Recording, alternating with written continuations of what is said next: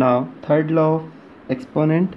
Suppose there is a rational number a over b and its power is m and it is in a curly bracket or some other bracket and whose power is n. That means there is a rational number a over b whose power is m and the whole power is n. Then we can simply write this a over b and we can multiply these powers. So here we can multiply m with n so we can write a over b power m multiplied by n. Let's take one example.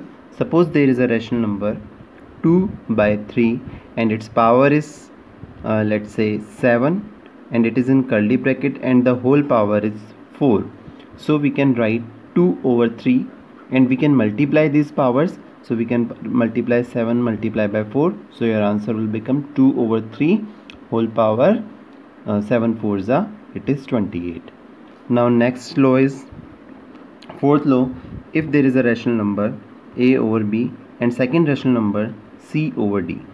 And both both are getting multiplied and the whole power is n.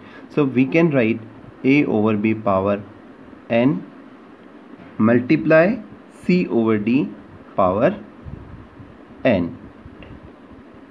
Means that means if there is a rational number there are two rational numbers. Suppose there are two rational numbers 3 over 4 and 5 over 7 whose powers are let's say 3 so we can write it 3 by 4 whole power 3 multiply by 5 by 7 whole power 3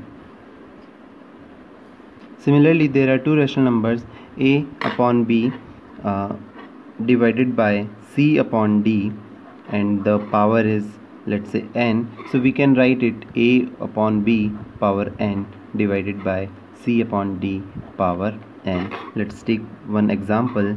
Suppose the rational numbers are 4 over 3 divided by 7 upon uh, 5 and its power is let's say 6 so we can write it 4 upon 3 power 6 divided by 7 upon 5 power 6 and the next law is fifth law which says a over b power minus n. So we have already read that we can write it b over a power plus n.